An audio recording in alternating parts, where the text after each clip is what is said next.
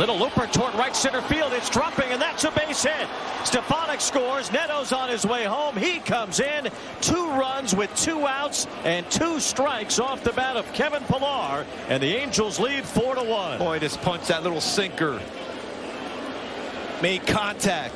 Two RBIs on it. Pillar clutch again. Off the plate, too, to shorten up his swing. That's not really a full swing. He's just trying to make some contact. It was a sinker that was up high enough to make that contact. Looks like you're going to the bullpen now.